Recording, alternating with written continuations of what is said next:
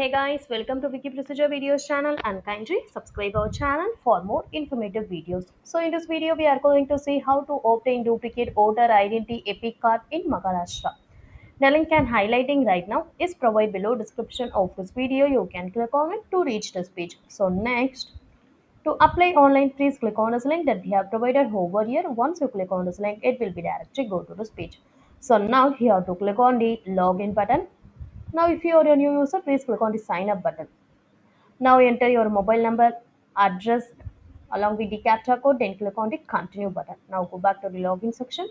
So, in login section, you have to enter your registered mobile number, email ID, epic number, password along with the captcha code, then click on the request or OTP button. So once login, we will reach the home page. Here, please click on the search in electoral roll option to reach your new page. So if you do, does not have their voter ID, then they shall use their details to search for the records or else they can use the search by epic number section. On selecting the search by epic number section, we shall provide the epic number at the pro prompted space. Select the respective states from the drop-down list. And then you can finally click on the search button. So next you can click on the respective view details button provided before below the before the record details that are appropriate for the applicant to reach the voter information page. You can scroll down and then click on the form 001 option for replacement of electoral photo to reach a new page. And then you shall click on the checkbox for self and click on the next button. So if you are applying for the family, then please click on the checkbox for family. Then we will reach the form 001 page. Here, please select the respective state and district as assembly as appropriate and we shall complete the other forms as appropriate and then you can click on the and then you can enter the details in the regional languages too. So once the mandatory details are filled in, please enter the place, data, captcha as appropriate and then click on the submit button to your confirmation to get your confirmation page.